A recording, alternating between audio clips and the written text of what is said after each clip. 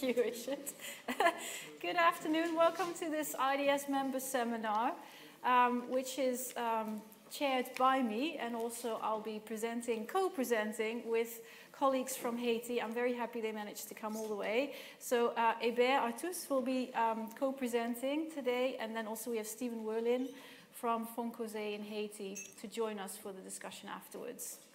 And we are going to talk about research in Haiti called Pathways to Stronger Futures, trying to assess how economic strengthening and whether economic strengthening can support early childhood development.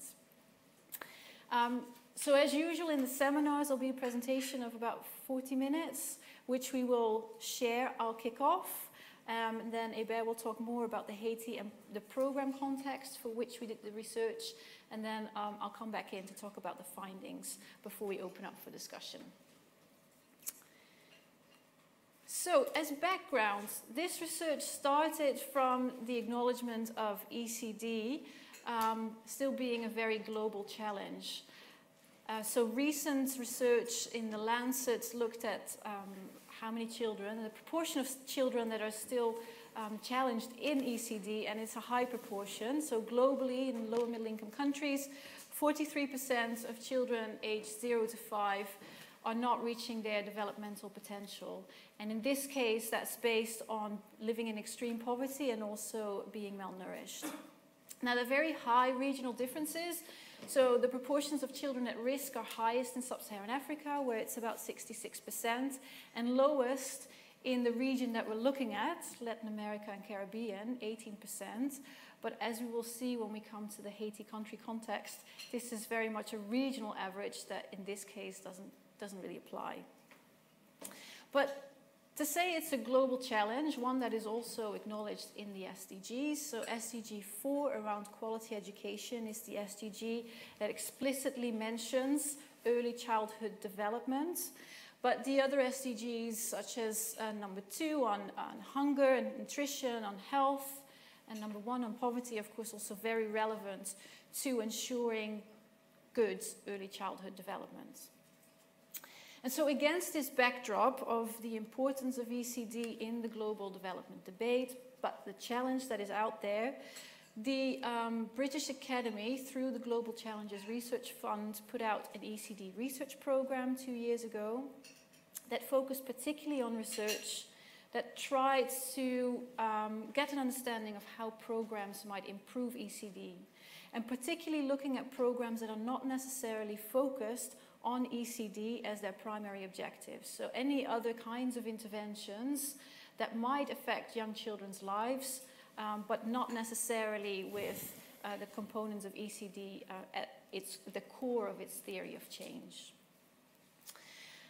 And so with that in mind, we put in a proposal that looked at the potential of graduation programs as a particular program of comprehensive social protection and the way in which it's uh, supporting economic strengthening to see how it can affect early childhood development. Now, I know many of you in the room just had um, a lecture and seminars about graduation, but just as a recap, graduation programs um, they started in Bangladesh with, uh, with BRAC's model and are based on the understanding that people living in extreme poverty need a big push to move out of poverty in a sustainable way. So if you could bring them over a certain threshold, they would then be able to, to enter sort of virtuous cycle out of poverty. And this big push consists of different components. And, and very often um, they are a combination of, of consumption assistance, so that's, that's sort of a regular uh, cash transfer that helps with day-to-day -day consumption needs, it would be access to financial services. So this could be um, savings and lendings group within the community, for example. It would often be seed capital, not so often employment, but mostly in the form of asset transfers, so livestock or any other assets to set up um, income generating activities.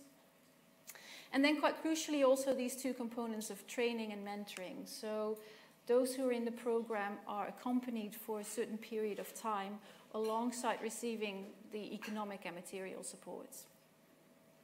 And this happens over a, a time-bound period So often programs um, are between about 18, 24, sometimes 36 months. And that's when the support comes to an end. And ideally, everybody will have received the required push. They started in Bangladesh, but they have uh, rapidly expanded. Um, so this is um, a map that has sort of dots indicating where these types of interventions are taking place. Uh, when this map was drawn, there were um, interventions in 34 countries, and I believe at present it, it's already up to about 43. Now, many of these started as small scale um, pilots um, projects that were implemented by NGOs, but more and more there are connections to governments to build them into social protection systems. So against this background, the main question for the research was how economic strengthening through these types of programs, comprehensive, we can see them as a type of comprehensive social protection, can promote childhood development and ultimately break the intergenerational cycle of poverty. Um, so how can programs that do not have ECD at its core objective contribute to ECD or are there other mechanisms um, that might be at play that actually might cause some, some negative effects. In framing the research and thinking about ECD, we used the nurturing care framework. So this is a framework that was put out about um, two years ago um, to engage with this challenge of, of, early childhood development and the fact that so many children are at risk of uh, not reaching their potential. And it frames um, ECD within five components, uh, sort of intuitive to understand and um, to also link different uh, program interventions to. So the first one is good health. The second is around adequate nutrition, responsive caregiving, uh, security and safety, and opportunities for early learning. There's some discussion about the age bracket that this refers to. So uh, sometimes ECD like in the data we saw, refers to children aged 0 to 5. Um, this framework um, in the documentation actually refers to the even younger children aged 0 to 3. For our research, we took the wider age bracket, so age 0 to 5. And alongside that, this is at the, in the outcome, more in the outcome area, we also looked at what some of the key key risk factors are that can cause poor early childhood development. And this follows from earlier literature, um, also mostly within the Lancet. Um, and many of these don't, don't come as a surprise. The big one is poverty, so that's obviously where we would see a role of economic strengthening. Um, and related um, is maternal stress and poor health. So if mothers are, um, uh, have poor uh, both physical and mental health, um, that's seen to, to correlate quite strongly with poor um, developmental outcomes for children. Exposure to violence as well, and then more generally, lack of public services.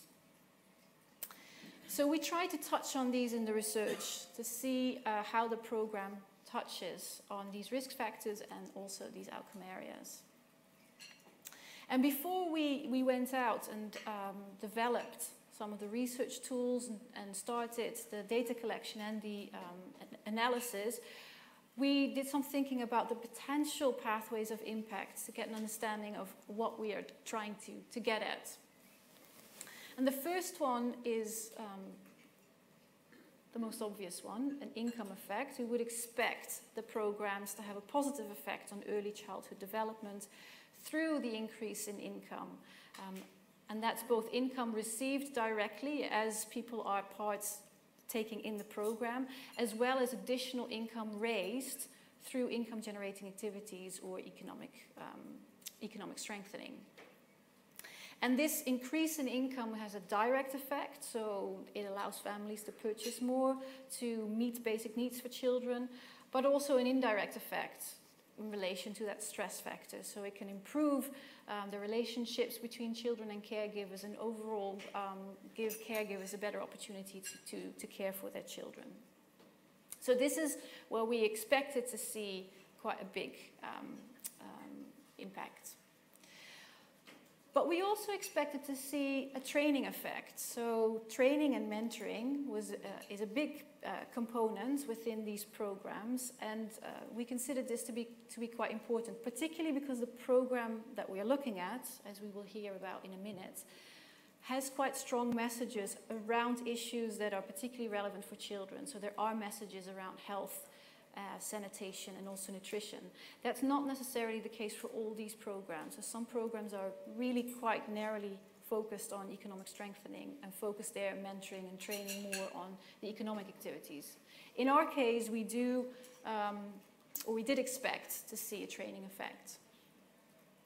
But at the same time, we were also very aware that there is the risk that there might be a trade-off between the increase in economic activities and the quality of care that caregivers can provide for children. Um, and this concern originates from the work that's been done on um, women's economic empowerment and, and the balancing of paid and unpaid care work. of course, that's an issue for women involved, but also for the children that they care for, which is interestingly not often something that features into the, in the conversation. So the extra step towards children um, hasn't often been taken. So we expected to see a gendered increase in the burden of paid work and unpaid work, again in this program also because the program targets particularly women. And that might undermine um, the quality care for, for children. Now, we are working on um, sort of an overview of the evidence that, that's there, um, not quite a systematic review, but almost. And uh, fortunately for us, as the, the, researchers, we can see that the evidence is scarce. So we are onto something in terms of this research. Um, so when we look at the studies that are available in terms of um, impact evaluations of these types of graduation programs that have looked at any type of outcome regarding early childhood development, well, all, firstly, there's not all that many. So there's about 27 studies that we found that touch upon any of these outcome areas. Um, and when we look at across these five different areas of the nurturing care framework, there's um, you know, quite a few, a bit more than half the studies looking at some form of nutrition or food security, uh, but then it, it drops off quite quickly. Some on health, but the other three are barely considered. So no, nothing on responsive caregiving, nothing on early learning. The studies do, however, look more at, at school enrollments. So it's not really surprising. It's not surprising because the indicators that are included in the evidence base are indicators that are more commonly included in evaluations. And also it's not surprising because these programs are not focused on ECD. So why would they include indicators on ECD, particularly the, the more softer areas, if you will, in their impact evaluations? Of course, that's not to say that we shouldn't find out about it. So that's, that's what we did with this study. Okay, moving on to the case study, um, Haiti and then particularly the program. So as I said, um, Latin America and the Caribbean region was lowest in terms of the risk of children uh, not reaching their potential. But when we look at the country case for Haiti, that looks quite different. So poverty is high. This is more than, more than 60% of all children live in, in poverty, so more than half. And also percentages of extreme poverty are, are high. Malnutrition is also relatively high, with one in five children under five being stunted um, and also widespread child mortality. So if we're looking at a case in a country context where we really need to make progress with respect to ECD, Haiti certainly is, is, is that context. Now we focused on one particular program, the CLM program in Haiti, um, and I'm going to hand over to Hébert to tell you about the program as he's the program director, so it's far Could better you placed. Tell us yeah. how you're measuring economic strengthening, or what do you even mean by it.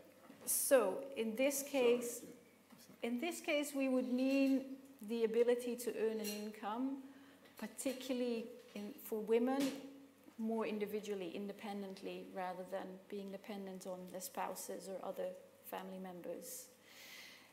Economic strengthening we use is quite a broad term, and also we've had some conversations um, with the the colleagues from Fonkoze what that means in different programs because we also found that in the in the CLM program that means something different than in other graduation programs uh, depending on what kinds of activities they promote.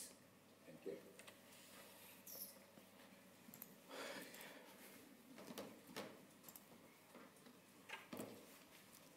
Okay, good afternoon.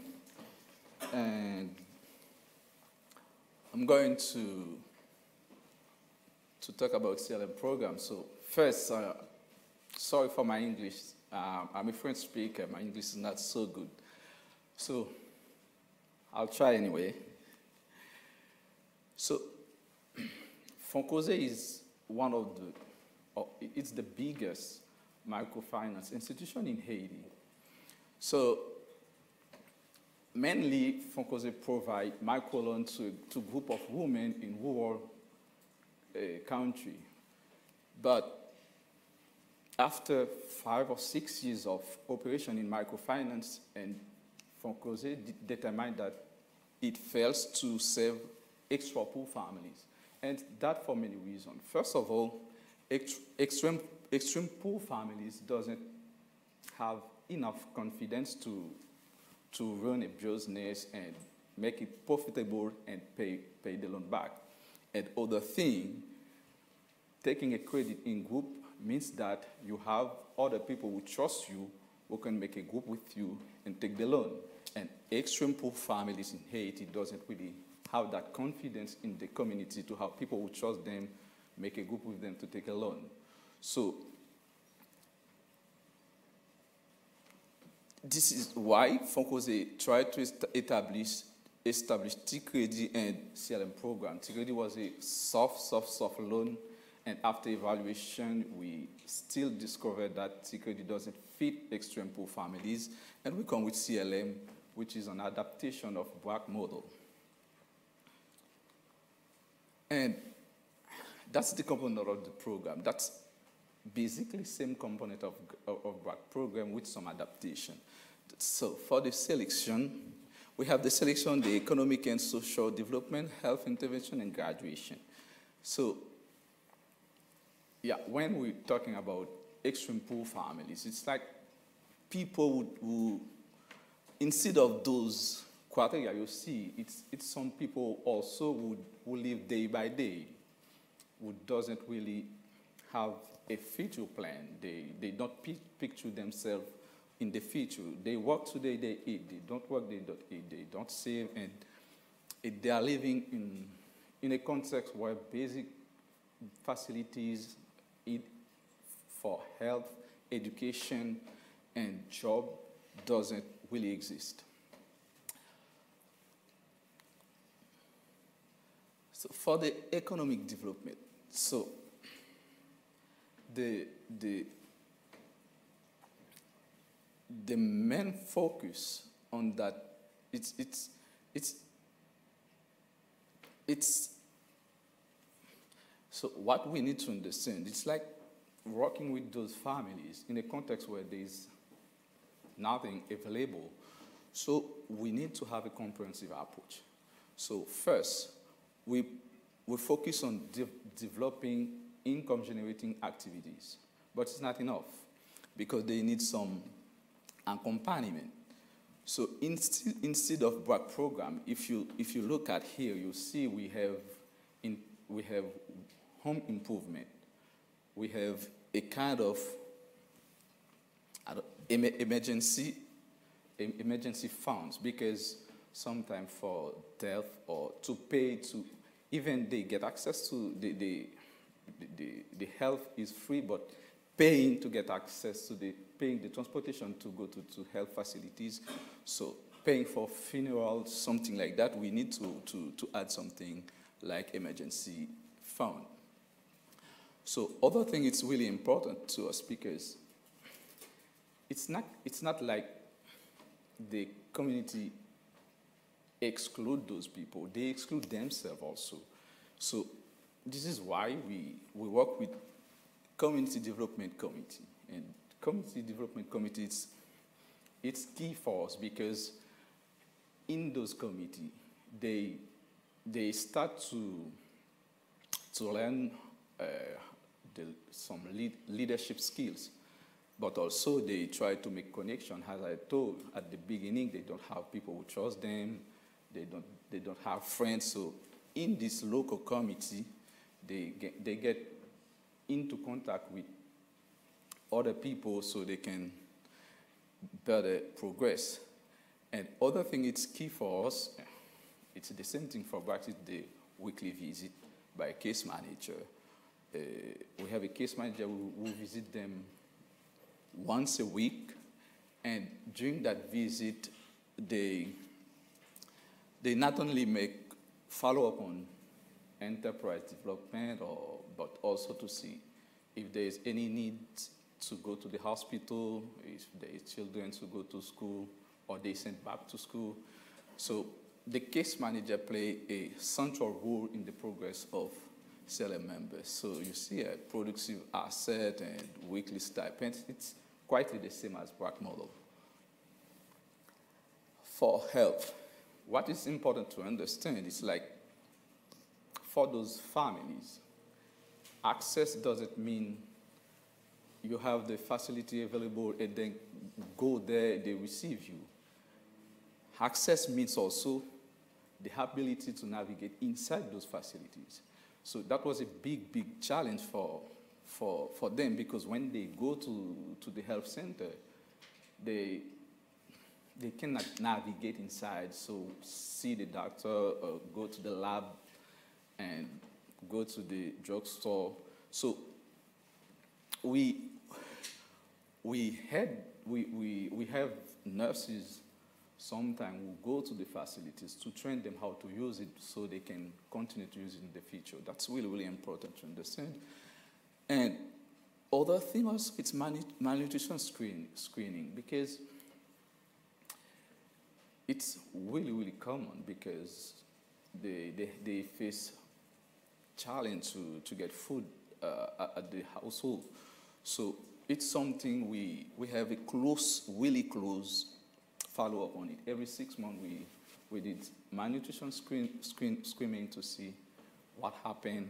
And on top of that, we have a bunch of messages regarding hygiene and family planning and some basic disease. So to say health intervention for us, it's first for prevention, about message on hygiene or good practice in health, and also for treatment because every member has an insurance card so they can go to some health center we have partnership with, they don't have to pay for, for, for, for the care. And we, we have a system to monitor weekly the progress of those members. So we have case managers who go to, to the follow-up and see the progress, whether there's something to, to add to correct or whether there's something to, to work on. We have supervisor to do quite the same thing, not only follow up, follow how case managers work, but also follow the progress on the member. And we have also sector specialists who, go to, to those families just to do follow-up. But on top of that, we have three set evaluation. One at six months to see how fast they are progressing. Another one at, at 12 months, it's to see where they are regarding the graduation criteria. And a last one at 17 months just to see if they are graduate or not. And graduation for us means they can at least have one hot meal a day.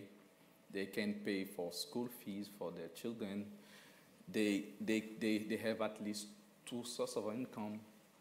And they have a growth in, in the asset base at at least 40%. So graduation means that, and we, we, we, we did that, we do that evaluation at 17 months. And what we understood, we understood that this, this program is, it's not like something easy for an NGO or a, a, a, a private organization to do because we are working in a context where services are not available.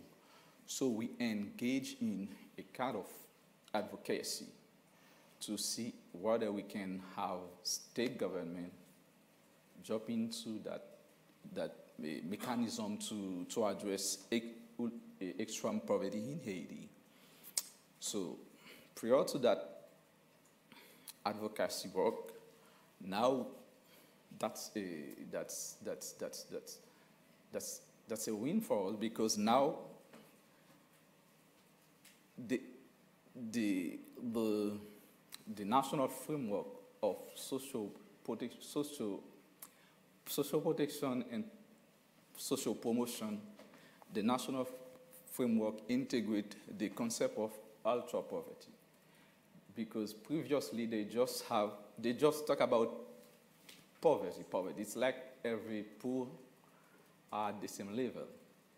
But our experience showed that the ultra, doesn't really need the same intervention as, as a poor family. So the national framework get it, and now they integrate, they, they, they are trying, it's like World Food Program work with state government to design a national policy of social protection and social promotion.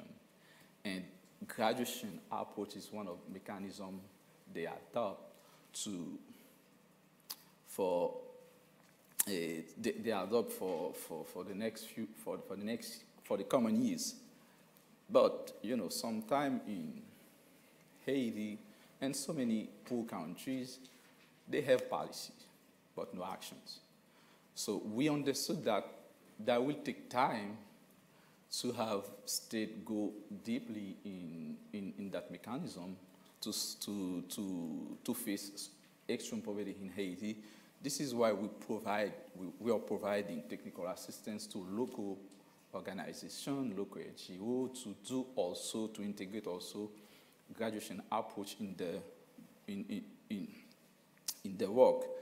And we, we have few organizations we, we work with now, and we, we're looking to, to, to, to have more local organizations so we can go and work with them to, to try to address extreme, poof, extreme poverty through the graduation approach. So it's a 18-month program, 18-month full accompaniment that's what we do in Haiti. Thank you.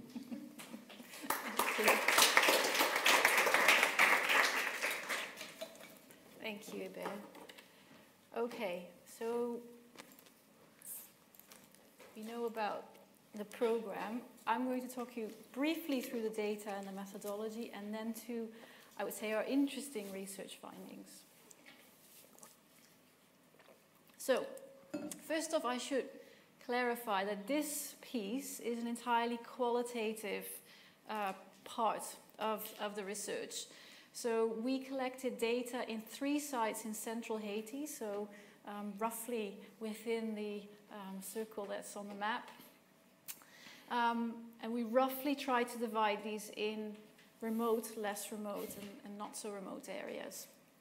And within that, within each of these three sites, we focused our data collection um, efforts on eight case studies, so 24 case studies overall, um, with CLM members, so that's how the program participants are referred to, and these are women, um, and in this case, for the purposes of this research, women with young children aged between zero or five.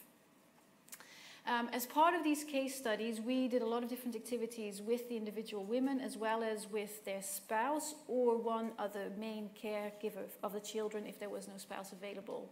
And in addition to that, we, we, we had focus group discussions or group activities, 10 in each site, and also interviews with, with staff of the CLM program. So some of the activities that we did um, are um, body mapping, Um, we did a scoring exercise of the different components of the program. We did community mapping, seasonal calendar, daily activity clock, um, all these kinds of exercises in, uh, when relevant, individually and in groups, to try and build up a picture, not necessarily really zooming in on the impact of the program on children, but more generally understanding what are the caregiving practices, what are the attitudes towards um, um, nutrition, health, responsive caregiving. Because when we were designing the data collection tools, we also felt that we don't really have enough information about that in Haiti at the moment. Um, and so together, this builds up a picture to come to an understanding of uh, the, the main research question. Now, just to say that this is complemented by a quantitative impact evaluation. In fact, we started this research by um, um, doing a baseline of this group of uh, women in the program in um, April, June 2017, so two years ago. And when we were doing the training of the baseline surveys, that's when we saw the opportunity for this piece of research. So it's worked out quite nicely time-wise because we did the baseline, that's helped us to understand some of the dynamics within the, uh, within the sites. Um, we've completed this qualitative study now, and as we speak, the team is in the field to collect the end-line data. And so over the summer, we'll be analyzing the quantitative data, and we can use that in, um, in line with the qualitative data to really also get numbers attached to some of these questions. So what's important to keep in mind when I go to, through the findings here is that they are all based on qualitative findings. Particularly in the beginning, I'm going to talk about effects in the different components of the nurturing care framework. That's all based on women's own perceptions and their spouse's own perceptions of how things have changed. So it's not in relation to observable or um, survey-based indicators.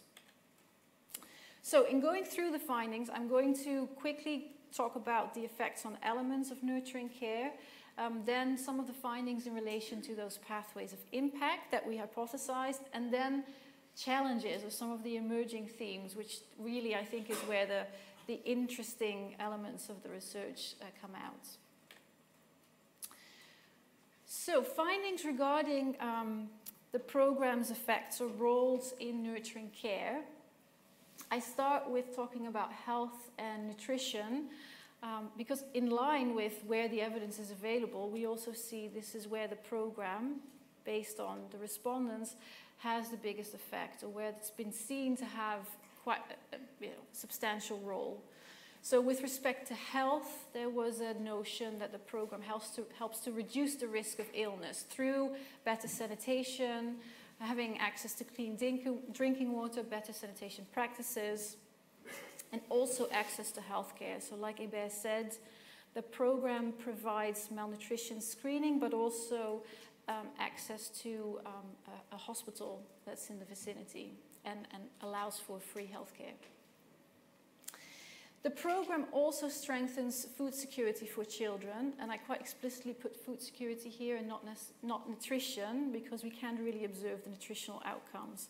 So respondents report more meals, better dietary diversity, um, and less hunger, but whether or not that translates into less malnutrition, um, we, we cannot necess necessarily say.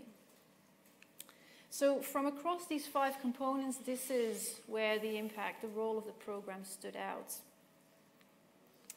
When we look at security and safety, um, we see the potential for a, a, modest effect. So actually one of the things that, were, that was mentioned um, most frequently in relation to um, safety and security was having access to better housing. So the provision of housing materials is part of the program and the encouragement of building a house is. So many um, women over the course of the program period were able to build a house with proper walls and a, and a proper roof that keeps sort of the, the sun and, and the rain out. But also um, provides secure shelter for themselves and for their children.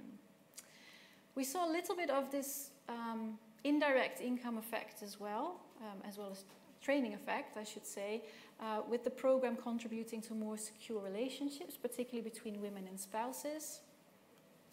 there was a question mark around disciplining practices. So um, some women said that they had been informed by the case managers that it's better to speak to your child if they're naughty or not behaving well. Um, but in other cases, uh, spanking children or corporal punishment um, was also advocated. And we'll come back to that in a minute. And then finally, very limited impact in terms of early learning and responsive caregiving. So responding to a child when they, when they are upset or when they sort of um, visibly show that they are in need of something. There's generally good knowledge of breastfeeding, the need to breastfeed and soothing infants when they are upset, so particularly young babies.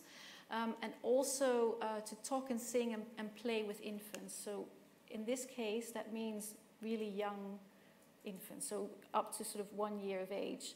And that's because the program also includes messages about the importance of talking to your child when they're very young. Now, the response shifts quite a lot once children start talking and once children start moving around.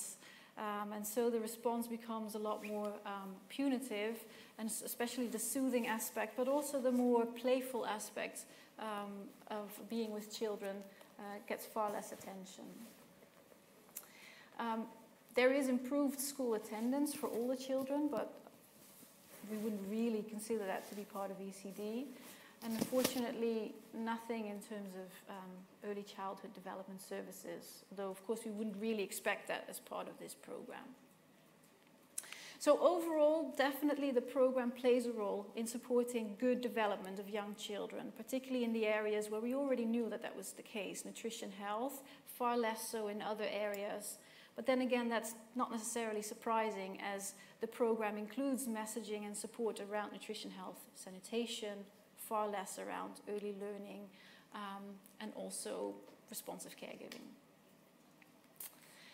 Now, digging into some of the pathways to impact, we find that the income effect, or I should really say the material effect, was most prominent in responses to the question, what do you think is most important, or how how does the program help you to support taking care of children? So we did this scoring exercise, asking uh, respondents to um, score with the use of beans, how um, relatively important they found certain components are. Um, and sort of the darker um, components here are almost all referred to, to the material aspects. So um, Housing is important, the livestock, so the asset transfer that, that they receive, the cash stipends, but also the water filter. But it's very much sort of the, the material support that came up um, in people's minds first. And many responses about um, how the combination of that has helped starting a business, how having livestock helps to um, multiply livestock and earn money, but also supports child uh, care in terms of a buffer when any shocks occur. We also find evidence for this training effect. So the importance of having these case managers go to the households every week, as Hébert said, and speak primarily with the mothers of children um, about on the one hand about issues regarding the economic strengthening component and how to build the business, how to rear livestock, but also all these other messages, some of which are more particularly focused on children. So this quote focuses uh, uh, primarily on family planning messages and how important that was. Uh, but this picture shows uh, Jenny Floor and her young son Bosco who suffered malnutrition when she was in the program. And she says that the support uh, that she received, both in terms of um, Plumpy'Nuts as well as advice about dietary diversity, really helped improve his health and his nutritional status. But what also comes out quite strongly in these responses is that it's very difficult to single these things out and that there is quite a large synergy effect. And so this is where we really find the qualitative discussions helpful because within evaluations of these kinds of programs, there's so much focusing on trying to single out how the different components add to um, overall impact. This actually shows it's quite difficult to do that. It's all these things coming together that um, provides women with, with the material. So this is a water filter that allows for cleaning um, providing clean water, the explanation of how it works, the help of um, mending it if it's broken. Um, and all that together sort of affords the experience of drinking clean water, making sure that you have clean water, and also seeing that children become uh, ill far less often. So mothers reports, yes, I've seen the water filter help uh, my child have less diarrhea. Um, and so there's far greater chance for this to then be continued in the future. Um, so in trying to understand these different pathways, we've tried to distinguish between the income effect and training effect, and sometimes that's worked out well, but often in the responses we find that women also lump it together, as we can see in this quote. It's, it's a synergy of everything. Okay, then coming to some of the challenges or some of the themes that emerged um, across looking um, at, caregiving practices, the role of the program, etc. The first one around this, this uh, work and care um, balance or trade-off, which we found was definitely a concern for many, many women who were in the program. So this is um, Angeline. She has four young children, and she really struggles to combine the, the work and particularly the caring for the livestock that she's received with caring for her children, and particularly the youngest one um, that, she, that she's carrying around. Um, and so when we asked women, you know, how does the work, the paid work, particularly that you do, affect the care that you provide for children, um, a frequent response was that they found it difficult to um, combine it and to find care for their children uh, when they are away from the home. Um, and so common responses um, were that they worry about their children getting dirty and not being fed well, uh, getting injured or, or, or um, you know, being in harm's way. And that's because sometimes they are left with neighbors or community members and they don't necessarily entirely trust these neighbors or community members, but often children are also left to their own devices with younger siblings.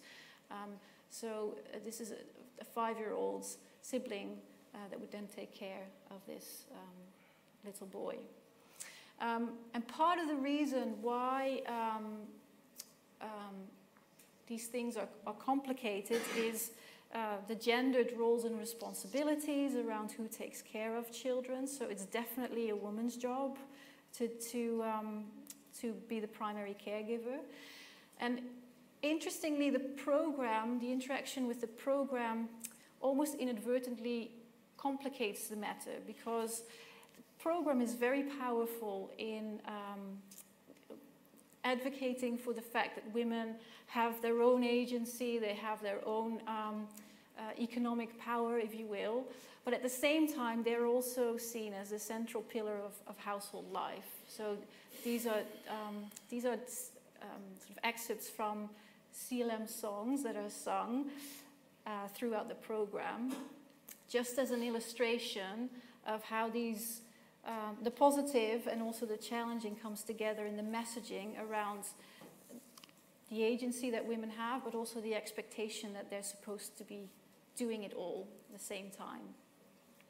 Now, women didn't necessarily explicitly say, that's a problem for me, because they hold on quite tight to their identity as primary caregivers as well, and take on um, the new identity of being um, an economic agent, um, they take that on with both hands. But once you start asking about how they combine these things, how they feel at the end of the day in terms of their physical well-being and their mental well-being, it comes out that it's actually really quite a struggle um, to do everything, meeting their own expectations, meeting others' expectations, and also providing the care for, the, for their children that they're happy with. A very particular thing in Haiti is that there is also um, concerns around evil, evil eye or, or bad spirits that adds to the complication. So this is the photo from Angeline again, and as you can see, she's carrying her child um, in her arm, the front of her body. Um, and that's to avoid that there are any bad spells or curses cast on the children. And of course, that makes it really difficult if you were to combine any work with carrying your child. So it's impossible for women to go to the market or go out to the field, do anything really, um, whilst also um, carrying their child, which is different um, from, from other contexts. Um, and it also makes it more difficult to look into childcare arrangements because there's very little trust in the community of others. So there's generally the circle, the social network, if you will, of people that they can rely on to leave their children with is small. It might, it, it's mostly um, mothers, mothers-in-law, or other family members, sometimes neighbors. But if they're not available, it becomes tricky quite quickly. Um, so many responses about how they don't trust neighbors, uh, they're worried about them hurting children, um, in part because of this and in part because they believe that they're not capable of providing adequate care. So there's a real question there programmatically how to, how to um, come to terms with that because um, in other programs, childcare options are being integrated, but here that's quite difficult.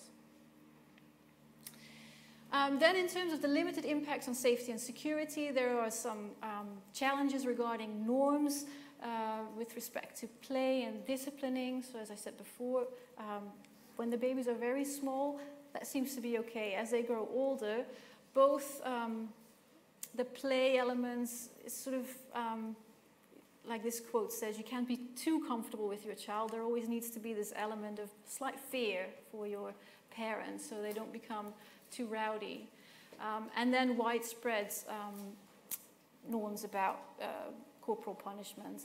Now, we had interesting conversations um, when we uh, had meetings in Haiti last month with the staff around norms of corporal punishments um, that we may come back to um, um, after the presentation.